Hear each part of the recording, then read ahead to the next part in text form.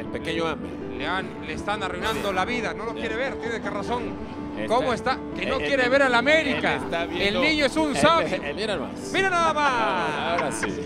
Es un cirquero aparte. Pues ahí está el Ahí chamaco está. que sigue sin voltear a ver el partido. Sí, sigue, sí.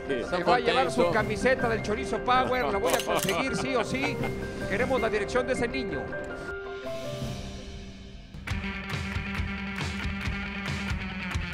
Ahí vamos, choricito por ti.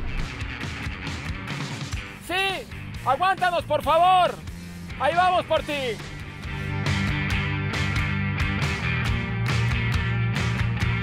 Dicen que es por aquí.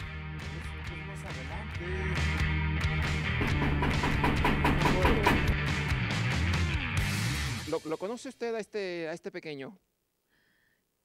No me diga, no me diga. ¡Yujú! ¡Lo encontramos! Te está esperando Cristian Martinoli, te tiene unos regalos.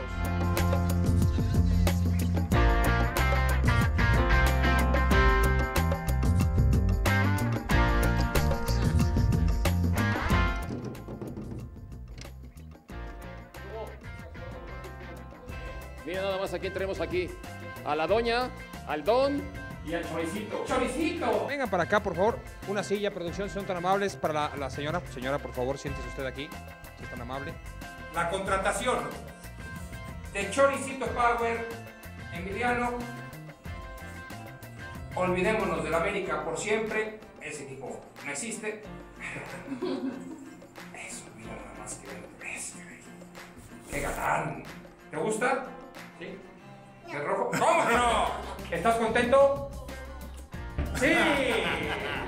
Hemos cumplido nuevamente, le estamos cumpliendo los sueños a los niños. Todos los que quieran ser del Toluca y que le den la espalda a la América en la cancha, los podemos incorporar a Chorizo Power.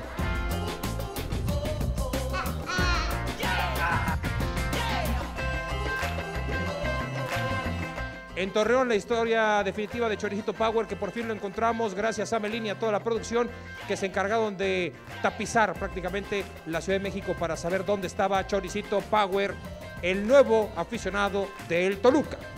Gracias. Hola. No. Sí.